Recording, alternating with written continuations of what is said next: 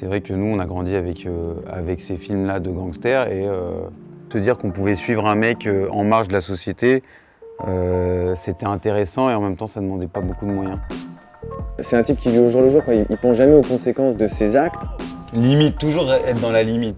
avec des courtes focales très proches Ouais, du comédien pour vraiment euh, être avec lui euh, dans son intimité, baloter de, de- de droite à gauche, entre les flics, les, les- les- les autres caïds. Et on s'imagine qu'il n'a pas eu un, un, passé euh, facile. Il y a des types comme ça qui, qui, brillent des fois et après coup euh, ils se disent mais c'était pas moi, je sais pas. Plus jeune, on en, on en côtoyait des gars comme ça. Hein femme. La Corée.